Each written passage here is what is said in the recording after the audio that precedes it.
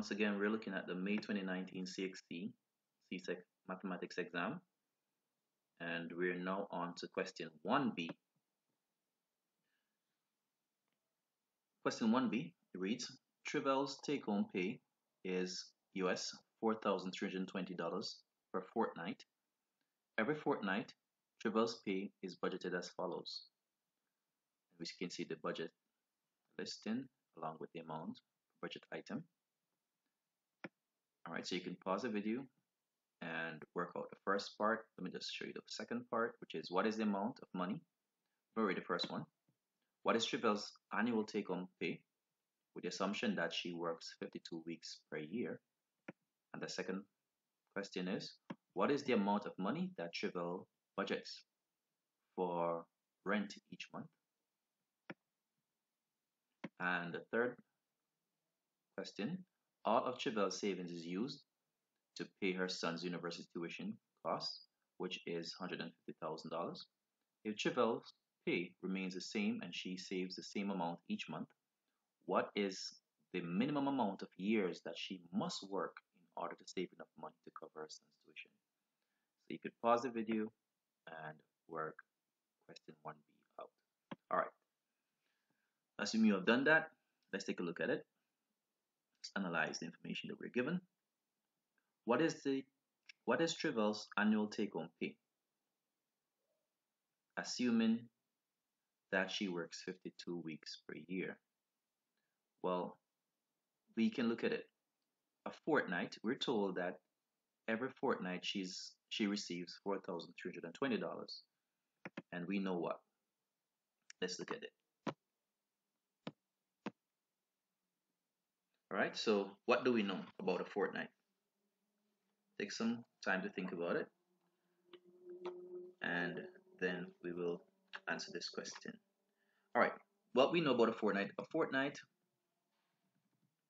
is equal to two weeks, basically. Now,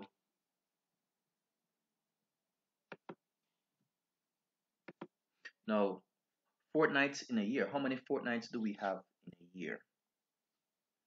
Now, a year has 52 weeks. We're assuming that, she would have worked 52 weeks.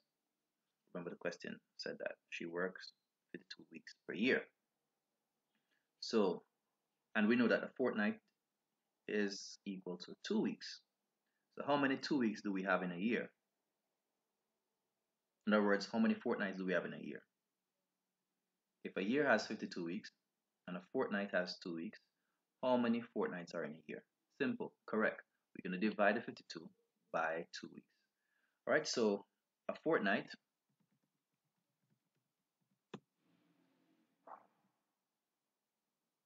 So or should we say number of fortnights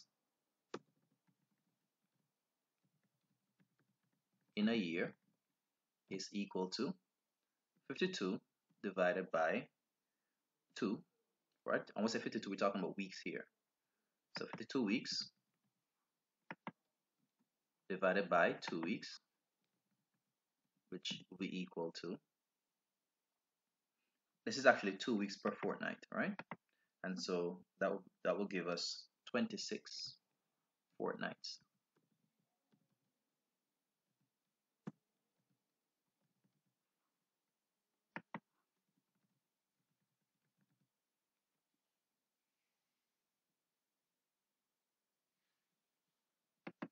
Right, so now we have that.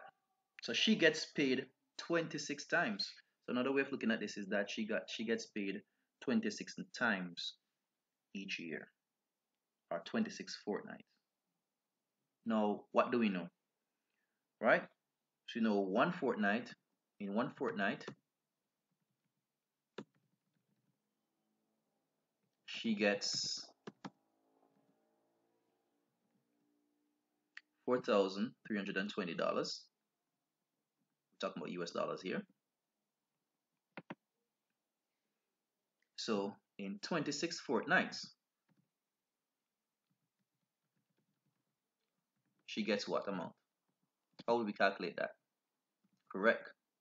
We'd have to multiply the amount she gets in one fortnight by 26 since there are 26 fortnights in a year and that will give us how much?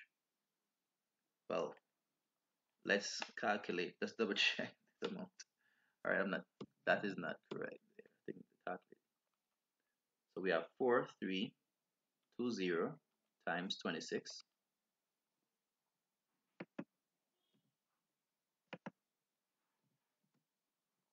all right so we had end up with 112,320 twenty dollars. Around twelve thousand three hundred twenty dollars.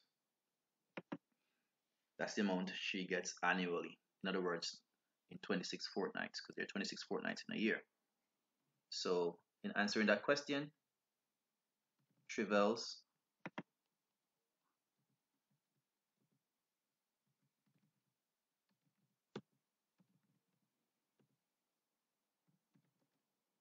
annual take home pay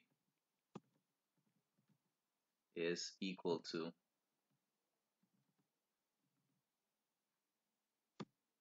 $112,320. All right, so we're now on to the, the next question.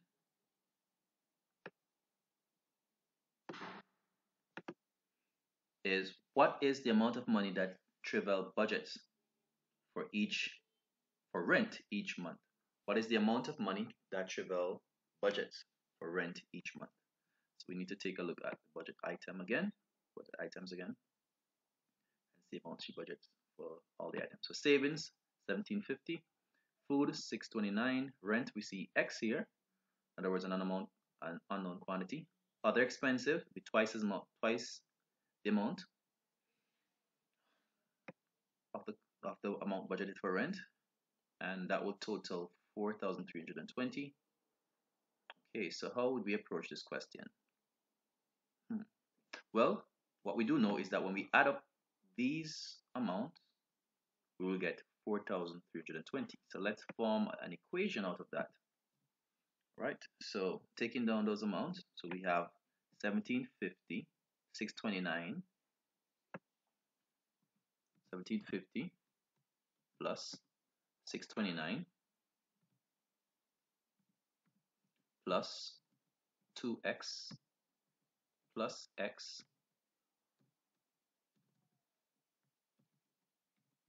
and that will give us what amount?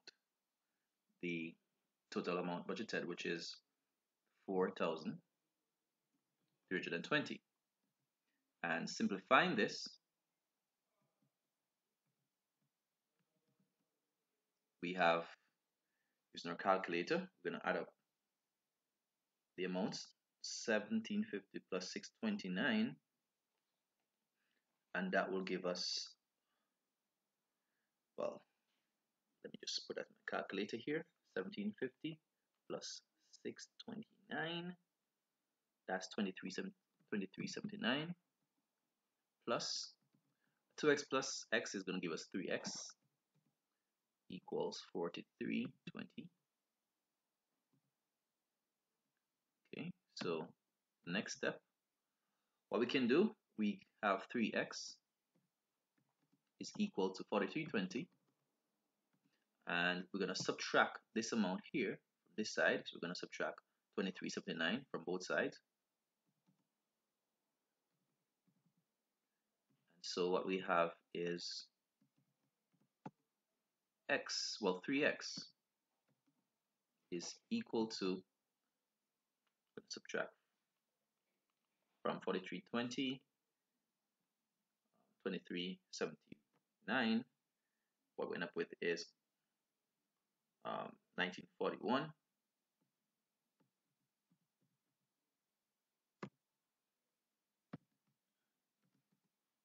I double check this figure. I'm done, but let's look at it is equal to 1941 divided by 3.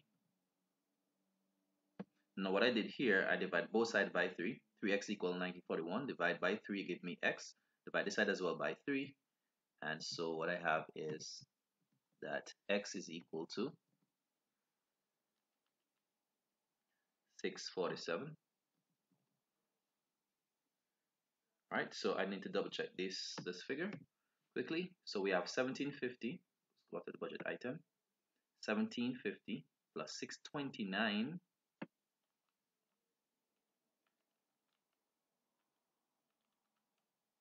that gives me 2379 all right so this answer will be correct. So we're going to stop there and that will be our solution for that question right? So x is equal to 647 but wait we need to figure out what is x. Let's go back and see what was asked. X x represents rent. So we need to make that statement. We can just leave it like that. And so we can then say therefore okay just a minute. So we can say therefore rent which is equal to which is x is equal to 647 all right so we look at it x is 347 of course other expenses if we were asked that we can actually figure it out. It would be twice the amount for rent so it would be 247 times 2 that will give us for the other expenses. Okay so looking at the next question. For the next question says here all of Trevel's saving is used to pay her son's university tuition which is 150,000 and Trevel's if Trevel pay if Trevel's pay remains the same and she saves the same amount each month so her pay remains the same and she saves the same amount what is the minimum amount of years that she must work in order to save enough money to cover her son's tuition costs? So how are we going to handle uh, that question well we want to look at the number of years. In other words, this question is basically asking us, so let's highlight the, um, question is asking us, what is the minimum amount or minimum number of years that she must work in order to save enough money. So these are keywords here to save enough money. So we're looking at her savings, all right, and to cover her son's tuition cost. So we're going to use these um, variables here. So looking for the number of years and the two things that we're looking at to deal, to deal with that is this our savings and the tuition cost. So one thing we can actually take from this is that um, is that the years to save enough money, number of years, or the minimum number of years I should say, minimum. We're assuming that she doesn't get any, uh, she hasn't, she's not getting money from anywhere else to save in addition to what she's saving already. We're assuming that she's only getting the savings from what she has budgeted here being the um, 1750 every uh, fortnight. So the minimum years to save enough money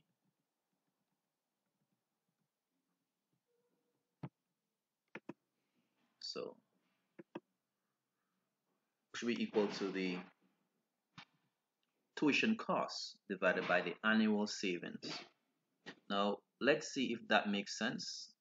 Now, let's assume, let's assume that the, the tuition is, let's assume that the tuition is, the tuition cost is a thousand dollars, correct? Let's assume it's a thousand dollars. This is not part of the, this, this, the, the solution given, or the uh, question given. Just making an assumption the tuition cost is a thousand dollars and she saves five hundred dollars she budgets five hundred dollars as savings every year how many years minimum would she need what minimum amount of years would she need to cover the tuition if she's saving five hundred dollars a year yes you're correct you'll divide that tuition cost of thousand dollars by the amount that she saves which is five hundred dollars per year. And it will take her two years to cover that. One year, $500, another year, $500. So she will be able to cover her costs. So the total cost divided by total savings per year. That's how the formula comes out. All right, so we're looking at the tuition cost of $150,000. And we're going to divide that by division sign here. Divided by the yearly savings. Now, how are we going to get the yearly savings? Now, how much she saves uh, for each fortnight? 1750, correct? She saves 1750 each fortnight. And how many fortnights are in a year? 26 fortnights as we, we figured from before. So to multiply 1750 per fortnight, and we have 26 fortnights in a year. So that will be your annual savings. So let me just work that out over the side here. Our annual savings is equal to um, amount per fortnight times the number of fortnight in a year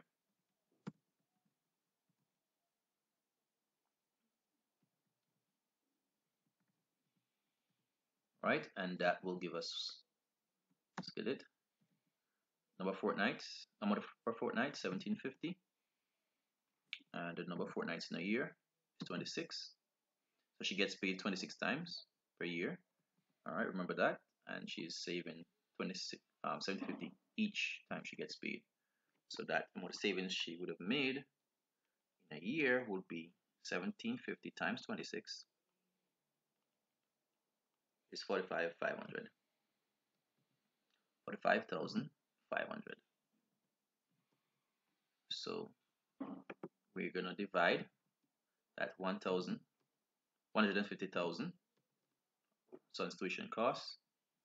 We're going to divide that by the 45, 500 annual savings and that will give us the division. Will give us um, 3.297 right? The minimum number of years that'll be 3.297 years which is an approximation really. And so definitely she would need more than three years but less than four years. So we can say the minimum number of years would be approximately um, approximately four years. You definitely would need more than three years, but wouldn't need up to, would need more than four years in a minimum. So we can say approximately four years. All right, so that will be the final answer. Okay, so highlight that as our solution.